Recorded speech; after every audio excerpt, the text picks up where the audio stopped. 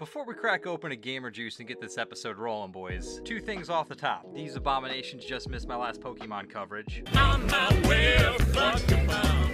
On my way to fuck your mom.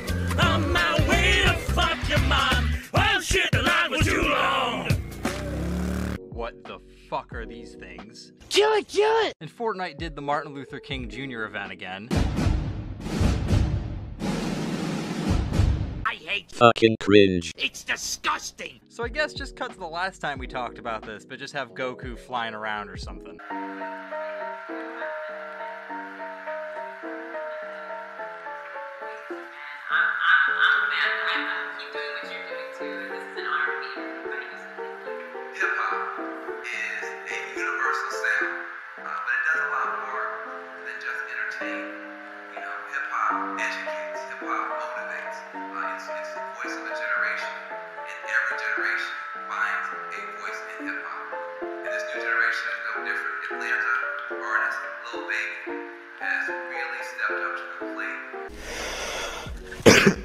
Shalom, boys and derricks, it's Ozlo. For Games Journalism, August 2022, Bottom Text, the only gaming news show on the internet sponsored by both my mother's love and disappointment. Wait,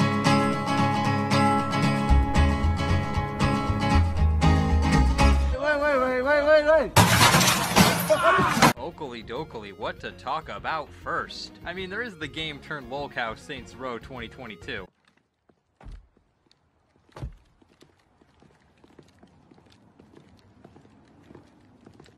the hell are they?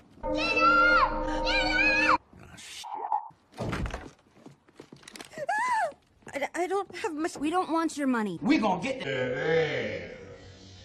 You done fucked up. The cops will get to you before my people. Girl. Nice left. Been practicing. Why the fuck you lying? Why, you always lying? Mm, oh my god. Stop fucking lying. Bitch ass bitch. Now, come on, guys. Same plan as last time.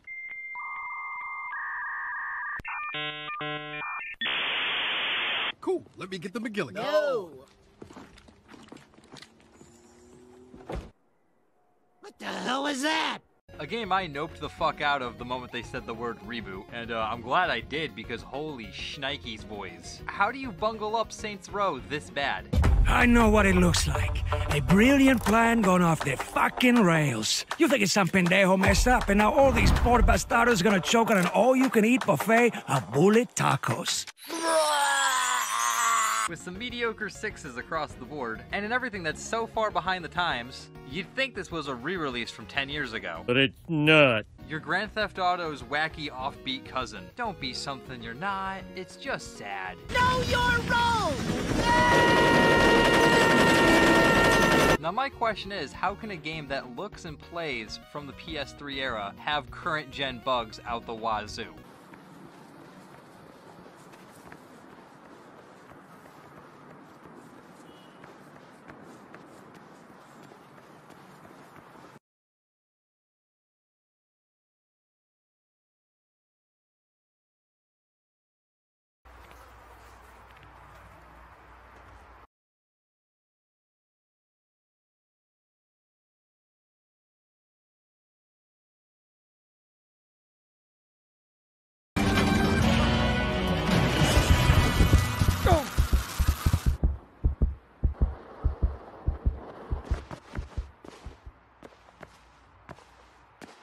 Maybe next time they'll drive their own damn trucks to the dump. I know a lot of people bitched and moaned when Cyberpunk came out, but at least Cyberpunk was interesting. As I was saying before, everything will work out just fine. Doubt. But if Volition is gonna do a sequel, here's an idea. The original crew from the good game shows up and just murders the new guys. Or, better idea, you launch them into space. I'd be happy with either or. But I'm not done yet. Now comes the part where we throw our heads back and laugh. Ready? Ready! Ah! I'm so fucking stressed out. We're, we're doing a little bit of follow up, boys. Oh, goody. Because, like any good lolcow, the story never ends with Saints Row Reboot. And what we're following up on is Embracer Group, the super conglomerate shadow organization that owns the Saints Row IP and Volition games.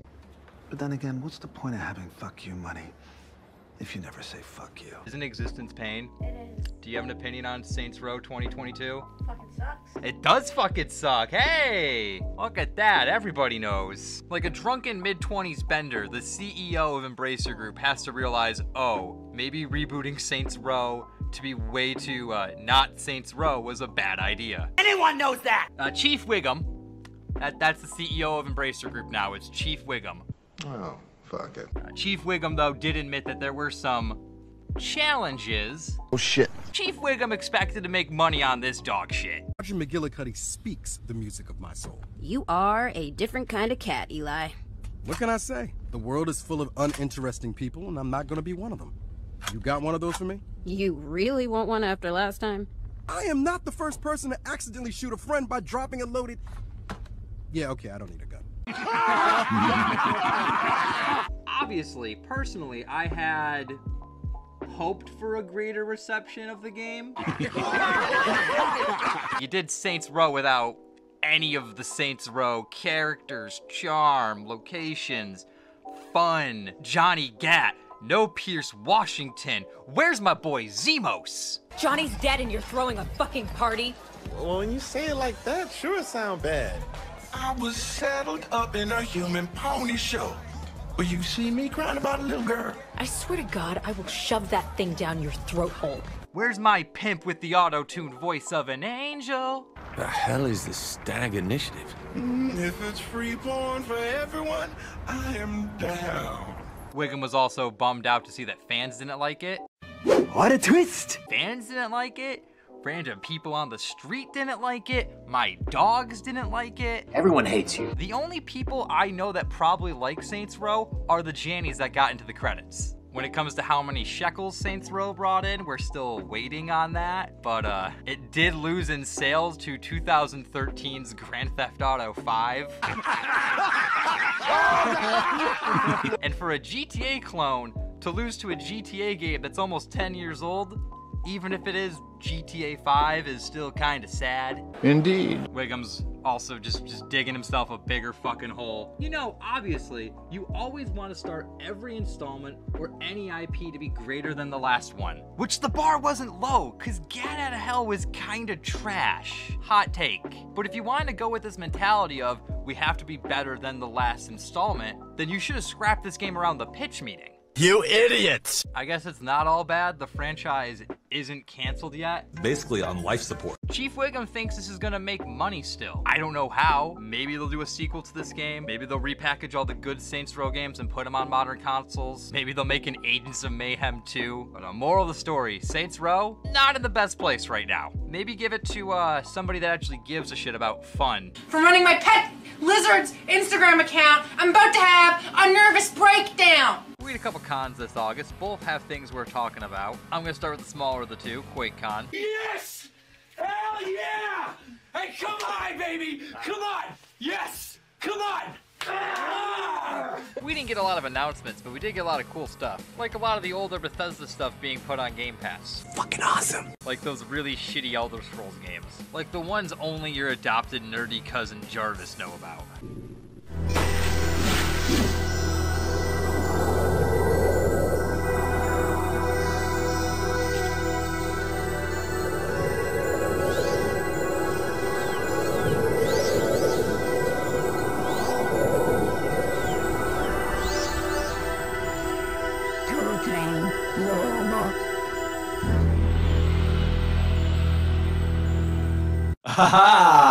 However, on the other side of the coin, we did get Return to Castle Wolfenstein. Hell yeah, now we got business. One of the best FPSs ever made. So if you're a stupid kid and you've never played Return to Castle Wolfenstein, fucking change that.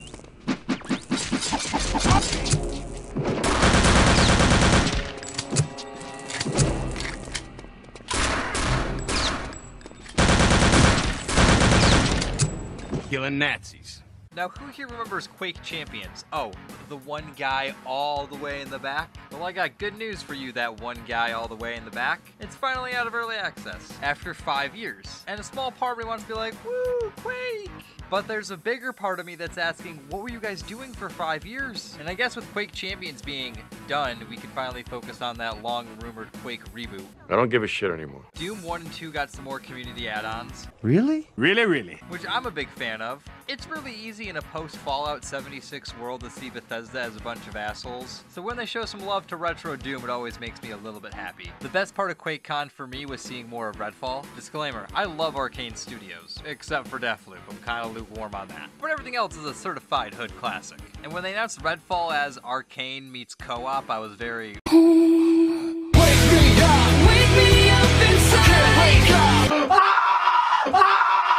I want to die. But during QuakeCon, they put out a 22 minute video. It had good old Harvey trying to sell me. And I'm gonna be honest, boys and Derricks, between us girls, I'm a bit more excited for Redfall now. I'm still worried it's gonna be Arkane does Borderlands with vampires, but I like the idea of a strong, densely packed, small town open world, wide range of weapons, and a pretty good setup to the game itself. A bunch of rich nerdlingers start up a bioweapons lab. Somewhere along the way, vampires happen, save the town. I'd say after watching the video, my hypometer went from a 4 to a 6. Will it be good? Probably. Will it be better than Prey? Hell no. Better than Deathloop? Most likely. And we can't have a Bethesda ToddWorks function without Todd showing off his latest creation, Starfield. And uh, there kinda sorta isn't a lot of Starfield news going around right now. Oh, oh, the composer says the game is going to be huge. No fucking shit, Sherlock. I told my therapist, she said, we'll take a break from your pet lizard's Instagram account. I said, I can't! It's my sole source of income! Now we might as well move on to the other convention that happened in August, Gamescom. You know, there are all that rumors out that my movies are financed with Nazi gold, and what should I say? It's true. But somebody must do something with the money. Do you know that my father died in Auschwitz? My grandpa died also in Auschwitz. He fell from a watchtower.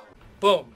Roasted. Geoff Keighley had a little event thingamajig, which means I can use an old clip for another episode of Games Journalism. That in 2020, so I think that's really important to remember amongst all the games and trailers. All right, well, one gay, uh, one one way as a community, one gay, one gay. Okay, that was fun. Now let's talk about the games. Kicking things off with the tale of the two Bloodborne knockoffs. You got Pinocchio flavored Bloodborne. Only you can do this. Please. Help me. Nope.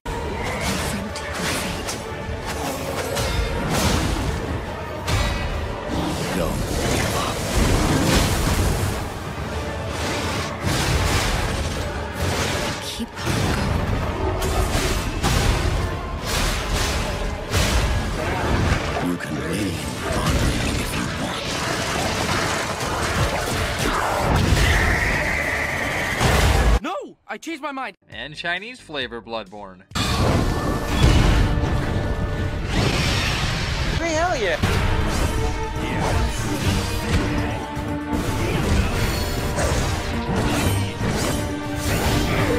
Sir, here is a check with my name on it. Write down any number on this piece of paper and I will pay it. Tragically, no news on the Dream flavor, PC flavored Bloodborne. Boo hoo. Not a lot of AAA baby back bullshit got my attention this year, but I do want to talk about some indie games that look pretty cool. Dave the Diver is one half deep sea fishing,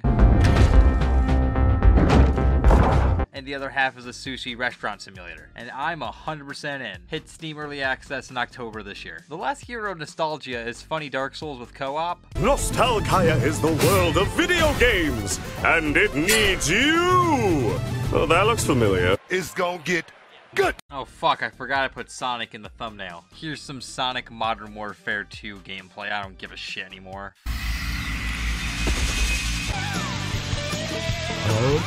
What? Froggy, is that you? Fuck him and his gaggle of dorks. I hate when people underestimate my fastness. I'm fast. I'm so fast, you couldn't even comprehend how fast I am. God damn it! What is your problem? You're gonna ruin my fucking fan? Gungrave Gore looks badass as hell. I think the Medieval Times game from Obsidian looks pretty cool, but everything else I saw fell into the bad or the Y category. Some of the bad were Gotham Knights, and I swear to God, boys, the more they show this game, the worse it gets. Welcome to my party! Can I go home? Pretty boring party. Boring. Uh, uh, uh. What the fuck was that? Because I haven't lit a candle!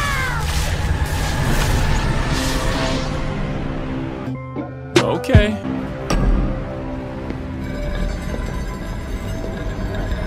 Now, let's play Nightbutt.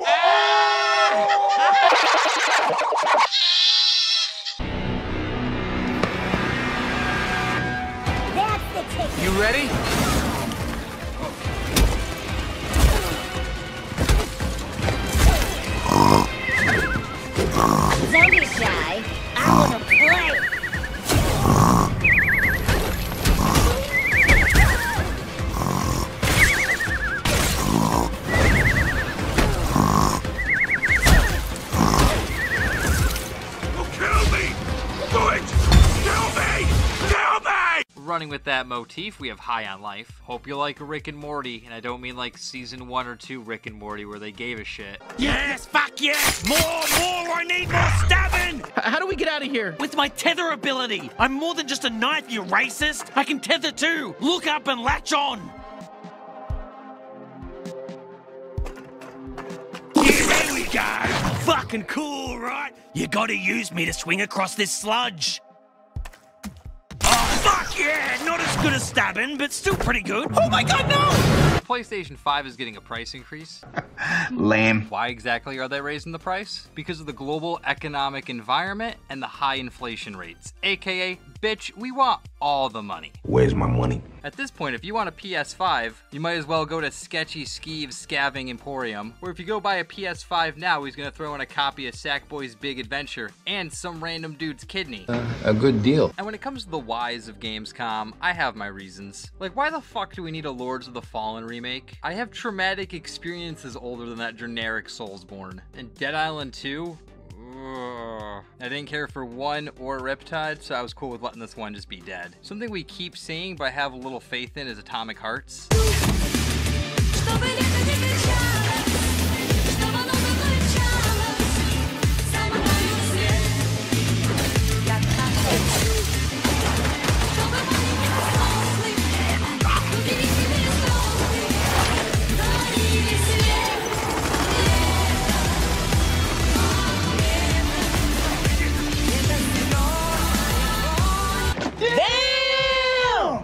Seems like it's mixing a lot of shit I like into one drink, but that drink just seems a little bit too good to be true, you know what I'm saying, boys? Last thing of note is Kojima is starting a podcast. Sounds cool. And as someone who ran one of the best podcasts in America, think of our 21st birthday party. Or Oh, yeah. Where we went to a karaoke bar and I drank four apple teenies and vomited on your couch. Yeah. Uh, that's the true meaning of Christmas right there. I gotta ask, fucking why? I don't know. I find most gaming podcasts to be kinda shit, but I'll give this one the good old community college try. And that was everything I gave a rat's ass about from Gamescom 2022. Overall rating, 4 out of 10. I have to post a fucking photo of the lizard every day! In keeping with announcing new shit, some more game announcements that happened in August, like a new Mafia game. And hey, since Saints Row fucked it up pretty badly, there's an opening. A new Sponge Boy Me Bob that looks a lot like Triple B.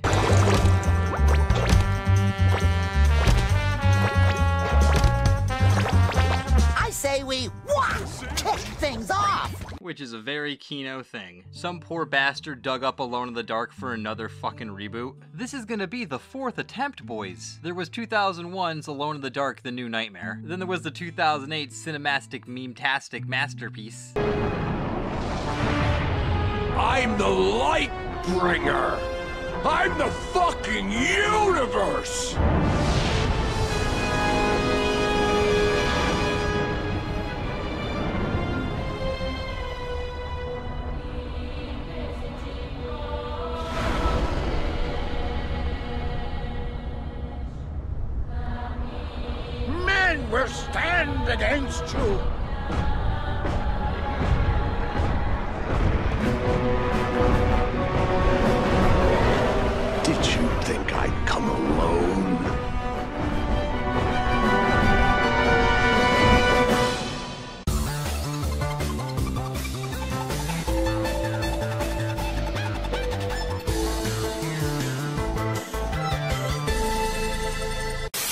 Was 2015's Alone in the Dark Illumination, a game that nobody knew anything about, and for good reason. I got three words for you boys generic co-op shooter. But Alone in the Dark 2023 looks like it's going to be returned to form to the survival horror roots that the series originated. I know they won't, but what if they made a 1992 graphics mode? Throwing it back to the fact that the original Alone in the Dark looked really good for the time. I said for the time.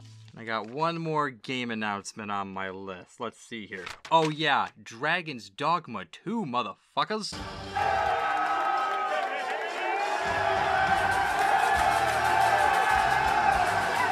Dragon's Dogma was a series I thought was just gonna stay Japanese and cult forever. But here we are in the whacktastic year of 2022 and a sequel has been announced. I love New Age Capcom, they're just pulling out all the wacky stops. Now they got that Monster Hunter and Big Titty Vampire Lady money. Anything's possible. Every fucking day, four or five reels with the lizard. Speaking of having a shit ton of money and having anything be possible, Facebook. Or should I say Meta? Fuck no. Or should I say MySpace 2? Bigger, longer, and we sold all your data to the Chinese.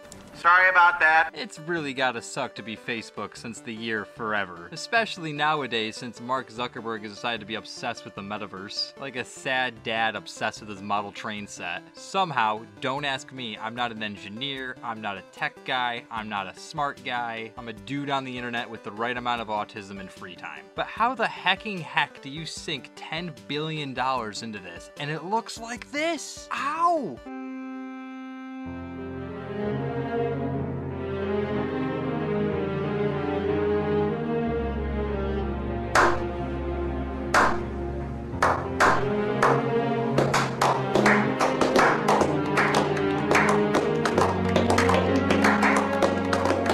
Does look like shit. And then you have Mark Zuckerberg posting this selfie inside the metaverse.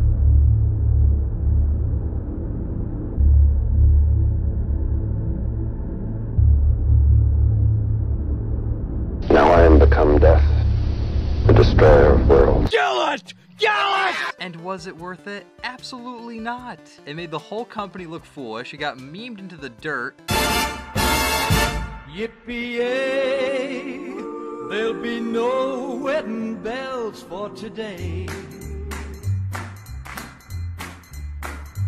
Just do it! Just fucking do it! And it somehow made Mark look even weirder than he already is. And just to double down on the stupidity, Mark put another metaverse selfie out there, which I can only describe in two words.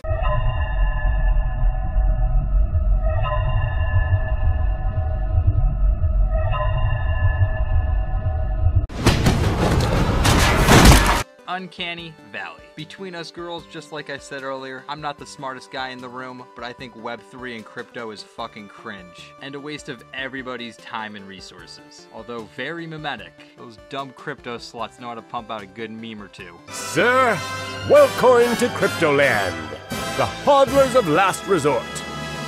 Oh, brilliant! Hey, stacking sats like crazy, right? Honey Badger don't care. we are gonna make it! Are you fucking kidding me? Playing with him, whi- whi- whipping his arms around in the air, throwing him in my little one little tiny apartment. It smells like lizard piss. Something else that has the potential to be a pretty big meme in the year 2023 is Hogwarts Legacy. The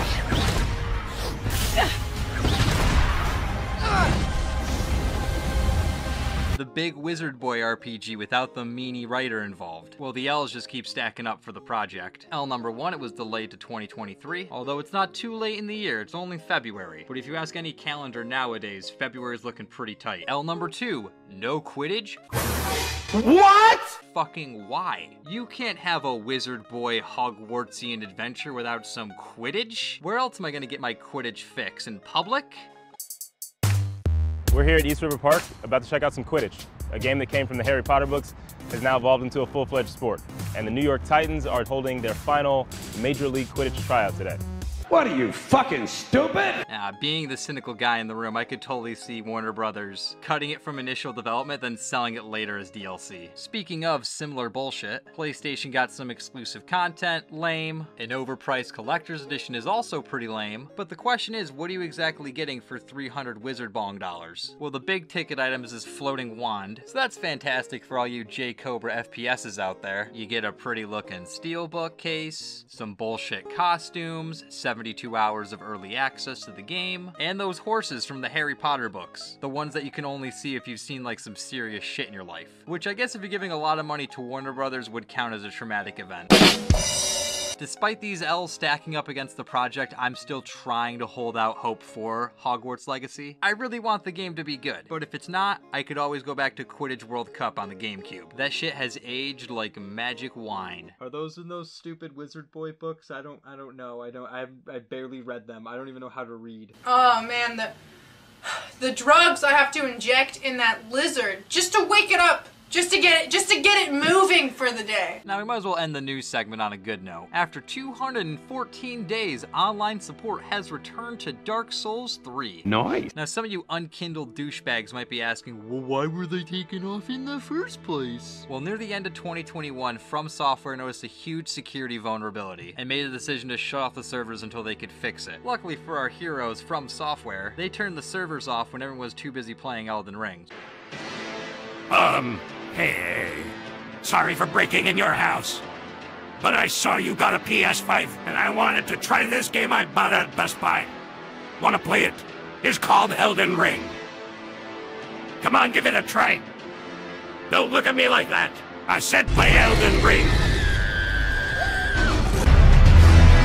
So the only people who really noticed were the hardcore Dark Souls 3 players and other From Software nerdlingers. Now here's why this kinda sucked for the 214 days. Let's say you're Timmy, a stupid fucking kid. You play Elden Ring, it's your first Soulsborne, you're having a great time with it. You wanna play more games in the series, and you're not a fucking weeb, so you're not gonna play Sekiro, and that goth chick won't talk to you, so you're not gonna play Bloodborne. You're gonna go back to Elden Ring's closest relative, Dark Souls 3. And a fun fact, boys, any Souls experience Dark Souls 3 especially, offline is pretty fucking lame. Those games are about the seamless multiplayer experiences, the messages, the invasions, the co-op, the movie nights, they're all pretty integral to the Soulsborne experience. From Software are still working on Dark Souls 1 and 2 servers to get flipped back on. I'm keeping my undead fingers crossed for the end of the year, mainly because I really want to play Dark Souls 2 again, get 10 hours in, realize it's shit, and then go play Bloodborne like a real man. I pumped all my money into this fucking lizard. I got two game recommendations for you boys and Derek's this month. First things first, Ultra Kill Act 2 is out. Do you, do me, do your grandma, do America a favor and go play Ultra Kill. It may be the best FPS to come out since Dusk.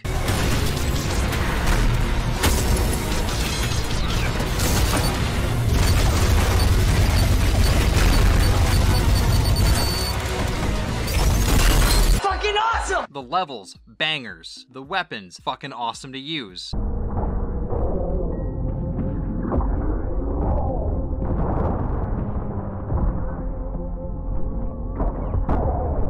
The bosses make me want to cry, but that's not the point. The music has no business being this good.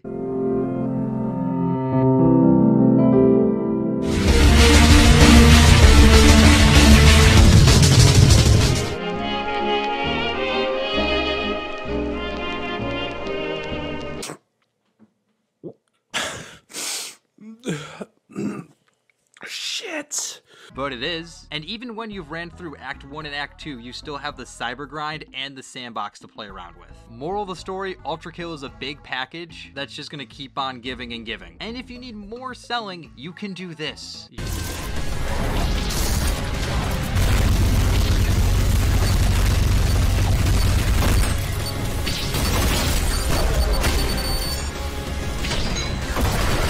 You're welcome. Piece of shit fucking lizard. I hate that fucking lizard. Second recommendation is Gundam Evolution. And has this ever happened to you? Overwatch 2 is garbage? All the fucking time. Well, uh, go play the Gundam Overwatch Hero Shooter. It's free to play, decently balanced, maps are fun. I don't know shit about Gundam outside of Megas XLR, but still found a lot of the characters enjoyable aesthetically. I mean, they're giant robots, how hard is it to fuck it up? Besides Pacific Rim 2. And despite just starting playing and being utter dog shit, it still gave me moments to feel like a badass. Living here in Jersey, fighting villains from afar. You gotta find first gear in your giant robot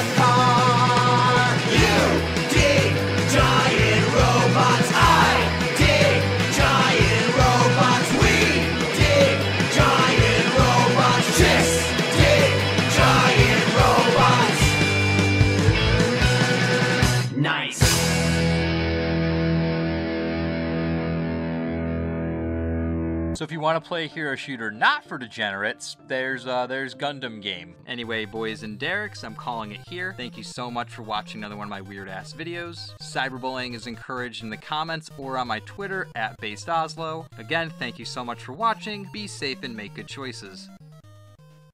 Hey everyone, uh, Dave Oshry here. Uh, just wanted to talk about how much I love Quake 2, man. Uh, it's a great game. I love it. Uh, I play it all the time, man. Every Friday, I descend into eh, descend into Cerberon all the time. You know what I mean? Uh, it it just makes me go poggers in chat. Uh, BFG ten thousand. Am I right? Yeah.